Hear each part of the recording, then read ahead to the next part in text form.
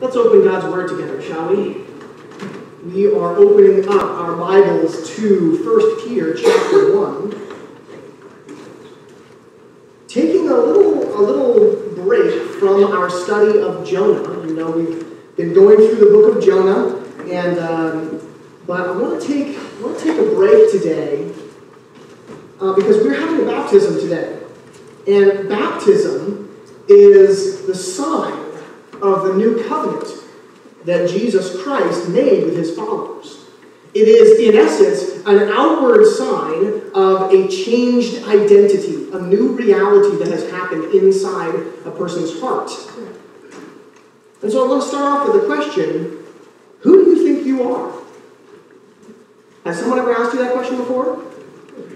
Probably, if they asked you that question, they were very upset with you, right? We, we ask that question usually in a very negative sense. Uh, who do you think you are? But actually, it is, a, it is a crucial question for us to answer of ourselves because your identity, the way that you think of yourself, will determine your response to this world and, and, and to the things of this world. Your identity will determine your response to this world and to this life. And so, First Peter, in this opening chapter of First Peter, we get a good sense from the Apostle Peter of what the Christian identity is, and that's what we're going to be studying this morning.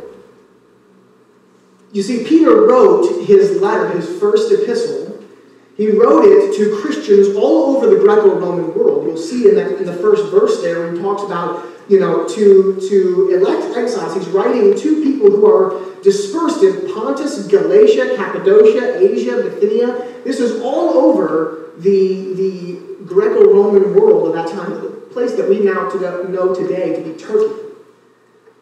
He's writing to Christians all over that world in probably the mid 60s AD right when the culture around them was starting to notice and take offense at Christians and, and what they stood for. For a while, at the beginning of Christianity, it was, you know, most of the surrounding culture assumed that they were just part of Judaism, that they're just Jews that have, you know, a little bit of a different theology about it.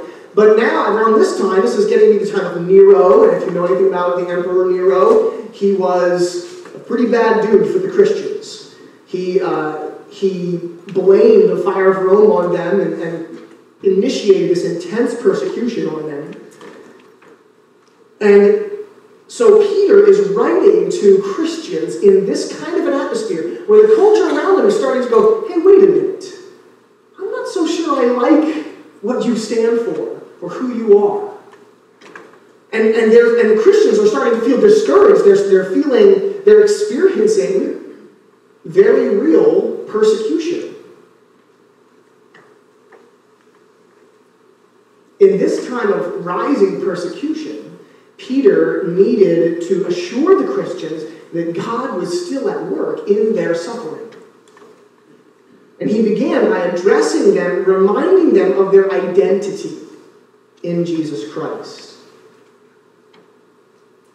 we may not yet have begun in our culture here today in America, we have not begun to experience the kind of physical persecution that perhaps the early Christians did. But we too live in a society where that is at best suspicious of Christianity and at worst openly opposed to it, don't we? Amen. So we need to be molded by Peter's message just as much as his original audience did. Peter's message speaks to us today as well. And so as we so, so let's dig into his word here. At the start of the letter, Peter begins with a greeting that would be pretty standard in, in those days. That's a letter in ancient Near East. Uh, writing a letter, you begin with the name of the author and then the name of the audience. I, Joel, am writing to you, the church of whatever, or to my friend uh, as, you, as you see in uh, both in Luke's gospel and the book of Acts, you see Luke starting out this way, addressing his friend that he's writing to. Peter begins the same way. He says, Peter, an apostle of Jesus Christ, to those who are elect exiles of the dispersion in Pontus, Galatia, Cappadocia, Asia, Bithynia, according to the foreknowledge of God the Father and the sanctification of the Spirit, for obedience to Jesus Christ and for sprinkling with his blood, may grace and peace be multiplied to you. This is the opening greeting of his letter, but it's different from a normal greeting in some crucial ways. And the first crucial way we have to understand is that he is outlining the Christian identity. Let me make sure my slides are catching up with me here. We're talking first and foremost about the Christian identity here in these first two verses. And he's going to go on and expound on what this means for, for our lives in the following verses, but at least we need to notice a couple of things, first of all, here in verses 1 and 2. Isn't it interesting how intent Peter is, right off the bat, with, with outlining the identity of his audience? Why? Why would this be significant? Well, another thing that was happening in the early church is that the demographic would have been, in the, in the earlier stages, primarily women and slaves. These would be the people that were, and, and you see evidence of this in the book of Acts when you see um, Paul planting churches, and you, you hear these names of women like Lydia, who was hosting, uh, hosting Paul or, or the first converts there. And so, in a, in a world in which, in a church in which, you've got a disproportionately large amount of people that the rest of the culture looks down on, that have a lower status in the culture, think about what Peter's words would mean to people in this kind of church. Think about what it would mean to be a slave in Cappadocia, for instance, and to be told, I'm writing to you who are an elect exile according to the foreknowledge of God the Father and the sanctification of the Spirit for obedience to Jesus Christ and for sprinkling with his blood. My identity is not just wrapped up in my identity as a slave. My identity is wrapped up in what God has done for me. Who am I? Well, first of all, I'm elect, he says, to those who are the elect. They're honored, singled out by God, chosen by God before the foundations of the world, as we read in other New Testament epistles. But they're also exiles. They don't belong to this world anymore. That's kind of the idea that, that Peter is getting at here. Some have taken his reference to exiles here to, to be a reference to Jewish Christians, because the Jews, as you know uh, from, from Old Testament, were called exiles. They, they were taken off into captivity in, in Babylon and also in Syria. And the Jews were thought of as the exiles. But Peter makes it clear as he goes throughout his letter he's not just writing to Jews who became Christians, he's writing to Gentiles, pagans that became Christians as well. And he's identifying them as exiles. They are the people of God who are not just exiled out of physical, the physical land of Israel into Babylon, they are, they are people that are placed in this world, but they don't belong to this world. Their true home is somewhere else. No matter where we are in this world, our true home is somewhere else. And that's what he's going to be getting at in verses 3 and following. How? How are they able to be considered these elect exiles? Well, he, he outlines it in verse 2 there according to the foreknowledge of God the Father. First of all, let's talk, let's unpack that a little bit. Foreknowledge, in, in scriptural sense, knowing, especially as you look at the Old Testament, the way that, that the Bible uses this term know. God knew these people, or I have, Jesus said, I, I don't know you. I have not known you. Depart from you sinners. Knowing has to do with this idea of God choosing to show his covenant love towards someone. It's not just a head knowledge, it's, it's, a, it's a bestowing of God's love upon a person. In 1 Corinthians 6.11, we, we see this referenced. We see the idea of God's knowledge, his, his foreknowing someone outlined, and talks about this That's 2 Corinthians 6.11. Let me go to 1 Corinthians. How about that? Paul is talking to the Corinthian church, and he's talking about all these people that won't make it into the kingdom of God. Thieves, dr- greedy, drunkards, revilers, swindlers, all these people will not inherit the kingdom of God. And he says in verse 11, and that's what some of you were. Such were some of you. But you were sanctified, you were justified in the name of the Lord Jesus Christ, and by the Spirit of our God. You were washed. God chose you. He drew you out from that life that you were in. Your identity is changed. In the book of Romans, we, we read that he, those whom God foreknew, he also predestined to be conformed to his image. God has reached into our lives of his own merciful grace and drawn us. He has ordained our salvation. But it's not just the Father, he says, he says, according to the foreknowledge of God the Father, he also goes on to say, in the sanctification of the Spirit. So what does the word sanctification mean? It has to do with setting apart, setting someone or something apart for service to God. It, we often use this term in, to refer to the, the gradual process that God works in our lives to make us more and more into the image of Christ, and that is correct. But it also, the Bible refers to how we were sanctified in the past tense. We, we have been set apart to Christ by faith in Him already.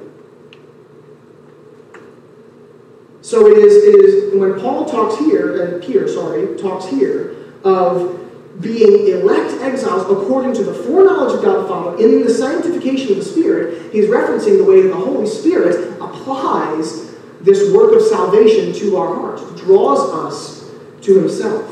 And then he, he, he finishes by saying, for obedience to Jesus Christ and sprinkling with his blood. When he talks about the sprinkling of the, of the blood of Christ, it would it ought to make our minds go back to the Old Testament in the Old Covenant when God initiated his covenant for the first time with the Israelite people. There was there was the sprinkling of blood for the purification of the people in Exodus uh, Exodus chapter 24 verses 3 to 8 we read how blood an animal had to be sacrificed and then its blood was sprinkled on the altar, it was sprinkled on the people, it was, it was the sign of God's covering them. So Jesus, the Son, accomplishes our salvation by his blood, by his sacrifice on the cross. But he's not only the one who accomplishes our salvation, he is the object of our obedience as well. He says there, for obedience to Jesus Christ. I like the way that uh, one commentator put it. He talks about how conversion is not merely an intellectual acceptance of the gospel, nor is it faith with a blank slate. Conversion involves obedience and submission to the gospel. And that's what we see here.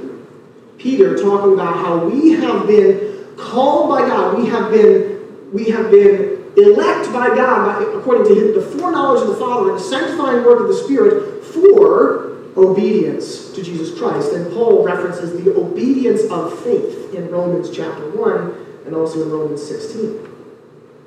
So maybe another way to think about this is that the Father ordains our salvation, the Son accomplishes our salvation through his blood, and the Holy Spirit applies that salvation to our hearts.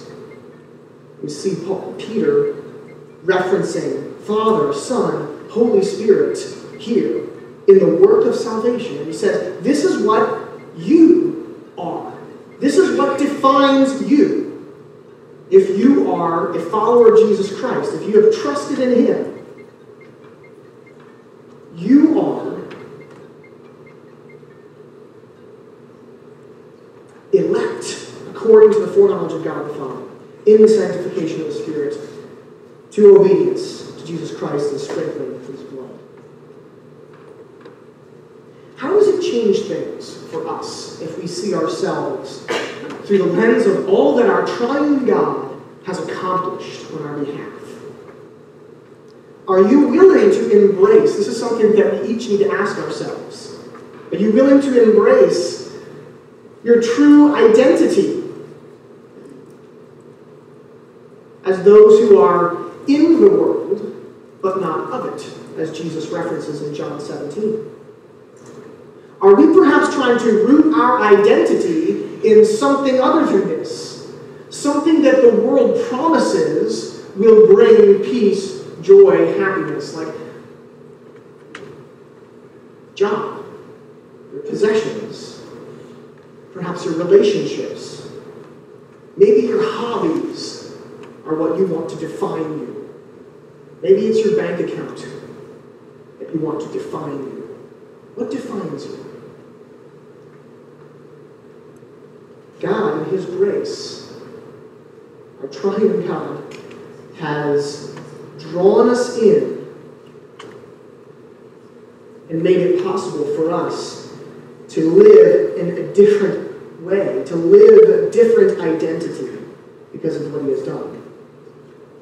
What does it mean to embrace this identity, though? That's the part that Peter gets to next. What are the implications for our Christian lives? Well, first and foremost, Peter talks about how we can rejoice in our secure hope. We rejoice in our secure hope. Look at verses 3 to 5. Blessed be the God and Father of our Lord Jesus Christ. According to his great mercy, he has caused us to be born again to a living hope through the resurrection of Jesus Christ from the dead, to an inheritance that is imperishable, undefiled, unfading, kept in heaven for you who by God's power are being guarded through faith for salvation, ready to be revealed in the last time. And then he begins verse 6 by saying, In this you rejoice. You rejoice in what God has done. Notice here again that this, our hope, this hope that we have, is a work of God's mercy through Christ. In verse 3, he talks about how God, according to his great mercy, has caused us to be born again to a living hope through the resurrection of Jesus from the dead. Here again, we see the work of our triune God. God causing us to be born again according, according to what Christ has done. He accomplished this work on our behalf. And this hope that we have is hope of the life that we were meant for, this, the life to come. To an inheritance, verse 4. We have been called to an inheritance that is imperishable, undefiled, and unfading, kept in heaven for you. This hope is a sure hope that we have. God is the one keeping your inheritance. And remember again who the original audience would have been disproportionately. It would have been disproportionately people in society that don't get an inheritance, right? Inheritance would go through the male line, and slaves are not included in that unless uh, aside from very special circumstances. An inheritance. Each and every one is given an inheritance, held, kept by our loving Father in heaven for you. But it's not just the inheritance that's being kept. Look at verse 5. It's kept in heaven for you, who by God's power are being guarded through faith. You see, God's not just holding our inheritance, He's holding us. He sustains us through faith. Do you see what it says there? By giving us the faith to believe, to follow Him, we too are being guarded. And that's why Paul can say in Philippians, I am confident of this, that he who began a good work in you will be faithful to bring it to completion at the day of Christ. And he says later in Philippians chapter uh, 2, he says that you ought to work out your salvation with fear and trembling. It's a serious business to exercise this faith that you have. But he says, because it's God who works in you to will and to work according to his good pleasure. God is at work in us, holding on to us.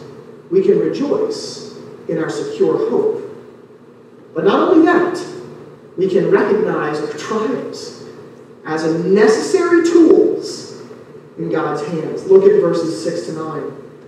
In this you rejoice. You rejoice in this inheritance that you look forward to, though now for a little while, I'm reading from the NSV, uh, ESV, though now for a little while, if necessary, you have been grieved by various trials, so that the tested genuineness of your faith, more precious than gold that perishes though it's tested by fire, may be found to result in praise and glory and honor at the revelation of Jesus Christ. You see, when, when Paul, when Peter, I'm, I'm going to keep making that mistake, won't I? It's Peter writing this, but I'm so used to talking about Paul. When Peter writes here, now for a little while, what's he talking about there? You've been, you've been beset with trials for a little while, if necessary. This doesn't make much sense in, in the way that we understand it today. When he talks about a little while, he's actually referring to this eternal perspective that he outlined in verses 3 to 5. So he began by talking about this eternal inheritance that we've been promised. And he says, now, here in this life, by comparison, what does it look like? A little while. This is not to, this is not to promise us that uh, things are always going to go easily in this life. Actually, it's the exact opposite. Now, for this little while of our lives, before eternity, we are beset with trials. And, and when he says there, if necessary, is actually um, the, it carries the idea that uh, since it is necessary. Think about um, when, when Satan was tempting Jesus in the wilderness. And he says, if you are the Son of God, turn these stones to bread. Right? Yes, turn stones to bread. Satan is, is using this, not, not saying like, you know, if, like, I'm not sure. He's, he's, he's really saying, since you are, since you claim to be the Son of God, and I know that you are, then you should prove it by doing this. When, when, uh, when we think of an if-then kind of, kind of uh, language thing here, this word if is carrying that kind of connotation. And we know it because we see in verse 7 you have been grieved by various trials so that there's a purpose. These trials are necessary. For what? For proving the tested genuineness of your faith. I like the way that uh, the NIV, if you're reading one of the, the Bibles in the pew in back the seat in front of you, it translates this, instead of saying if necessary, it says, although now you may have had to suffer. It kind of, it's, it's getting a little closer to this idea of this is a necessary thing. I really like the way the New Living Translation has, has put it. It says, even though you must endure many trials for a little while. It really drives home that point, doesn't it? That Peter's not just saying, like, well, it might be necessary for some, but it might not be necessary for others. Eh, you know, we'll see how it works out. No, he's saying now, you, as, a, as an elect exile, uh, a child of God, you have found, it has been necessary for you to endure trials in this life, so that tested genuineness of your faith, which is more precious than gold, may be found to result in praise and glory and honor at the revelation of Jesus Christ. The trials are necessary because they prove the genuineness of our faith. A professor that used the used the, the phrase faith has to be tested in order to be identified. Has to be tested in order to be identified. I can tell you that I believe that table will hold my weight. But how do you know that my faith is genuine? I gotta go sit on it. I won't do that right now. it's just, no, I will. Because I believe that this table can hold my weight. There you go. My faith is genuine. Whew. Yay, amen. We're talking about something, we're talking about faith that is placed in something far, far greater and far more serious than a table, aren't we? Yeah. And so Peter says, your faith, God is bringing things into your life trials, which will demonstrate the genuineness of your faith. And not just that. He says in, in the end of verse 7, it will be found to result in praise and glory and honor at the revelation of Jesus Christ. We see throughout the Bible references to the fact that there are heavenly rewards awaiting those who are faithful to Him. We look forward to our reward. And this results in rejoicing. Look at verses 8 and 9. Though you have not seen him, we have to recognize that this, this faith that we have in Jesus is not faith that's based on seeing him. You have not seen him, but you love him. Though you do not now see him, you believe in him and rejoice with joy that's inexpressible and filled with glory, obtaining the outcome of your faith, the salvation of your souls. Through the eyes of faith, especially in trials, we can rejoice because we see Jesus and the eternal life that he brings us as we trust him. So, what, is it, what does a Christian identity do? It gives us the opportunity to rejoice in our secure hope. It means that we can recognize uh, trials as necessary tools in God's hands. And then at the end of this section, he talks about how we can understand redemptive history through its apex, who is Jesus. Look at what he says in verses 10 and following. Concerning the salvation, the prophets who prophesied long ago, they prophesied about this grace that was to be yours. They searched and inquired carefully, inquiring what person or time the Spirit of Christ in them was indicating when he predicted the sufferings of Christ and the subsequent glories. What is he saying there? The prophets who were prophesying, they were trying to figure out when is this all going to happen? How is it going to happen? And, and they were inquiring into it carefully, and they, they couldn't see the whole picture. But yet, he says it was revealed to them that they were not serving themselves. It wasn't for them to see the whole picture, but you. They were serving you in the things that have now been announced to you through those who preach the good news to you by the Holy Spirit sent from heaven. Things into which angels long to look. Even the angels haven't seen the whole picture.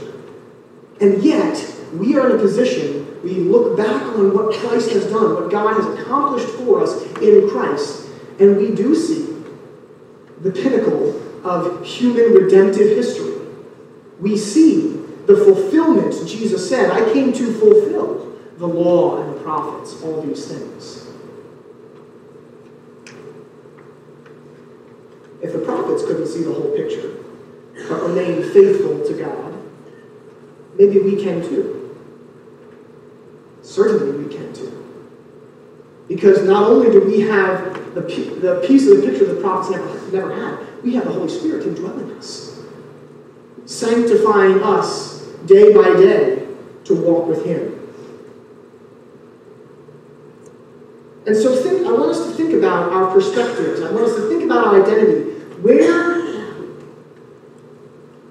where does my mind go when I think about this life? When I think about my situations, where does my attention tend to wander? Toward the temporary or the eternal? Am I rejoicing in my secure hope? Am I fighting against the trials of God in my life or seeking to grow within them? Leaning on the God who is keeping not only my eternal inheritance, but me as well. What do we do with this? Well, he says it in verse 13. Therefore, preparing your minds for action, and being sober minded, set your hope fully on the grace that will be brought to you at the revelation of Jesus Christ. What do we do with this? We set our hope fully on the grace of God. What this means is to strive for an eternal perspective as you go through these necessary trials. Keep your eyes on the one who carries you in those trials, who is using those trials for your good. But it also means striving for an eternal perspective in our blessings as well.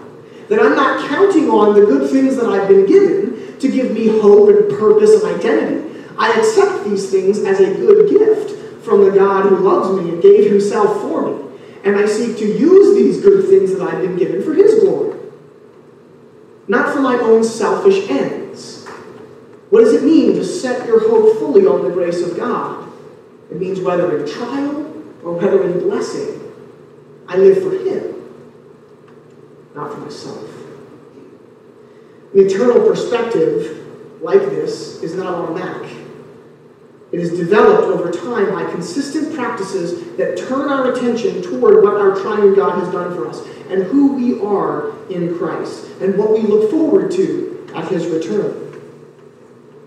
It's only this kind of perspective which will enable us to rejoice in the midst of trials. And not only that, to recognize that the trials themselves are not, they're not mistakes, aberrations in the plan of God, but they're rather tools in his loving which he uses to develop us, to prove the genuineness of our faith that he has planted in us by his Holy Spirit.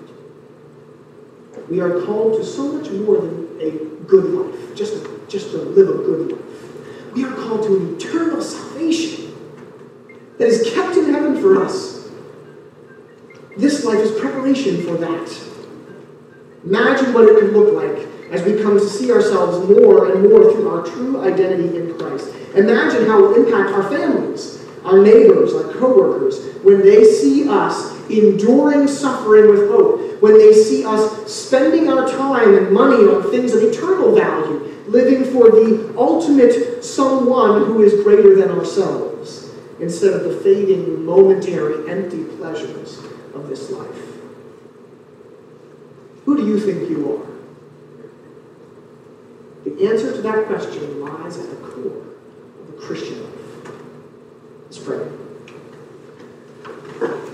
Father, we need your grace to understand who we are in Christ and to live into that identity. And so we pray for your strength. We pray that you would continue to mold and shape us into the image of Christ through our trials and, and also through the blessings that you have given to us. Surrender to you. Give us, give us the strength to surrender ourselves to you. In Jesus' name.